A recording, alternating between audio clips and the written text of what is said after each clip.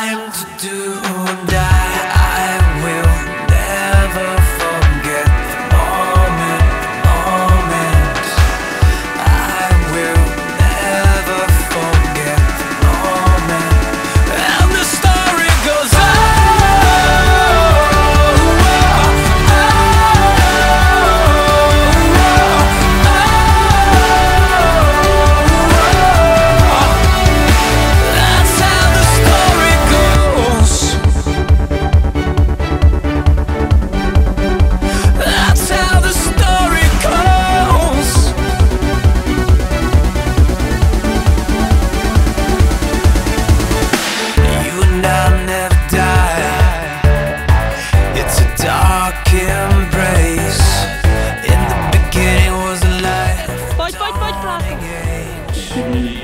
谢谢